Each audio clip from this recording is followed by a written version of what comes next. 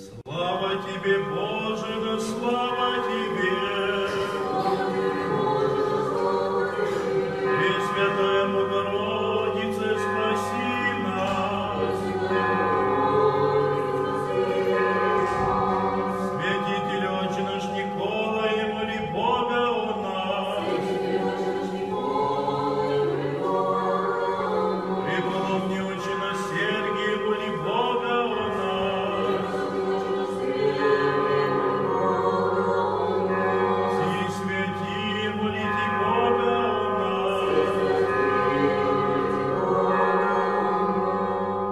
Во имя Отца и Сына и Святого Духа.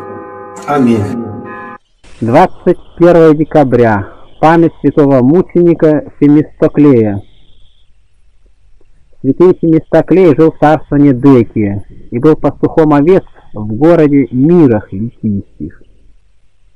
В то время местный областной правитель Асклипий по повелению царя воздвиг гонения на христиан и, между прочим, искал святого Диаскорида, который, скрываясь, бежал в горы.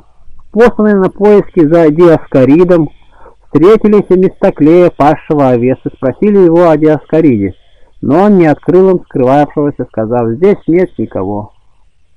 А самого себя предал, назвавшись христианином, и перед ними исповедав Христа. И Местоклей приведен был в Асклипию, правителю, к Асклипию, правителю области.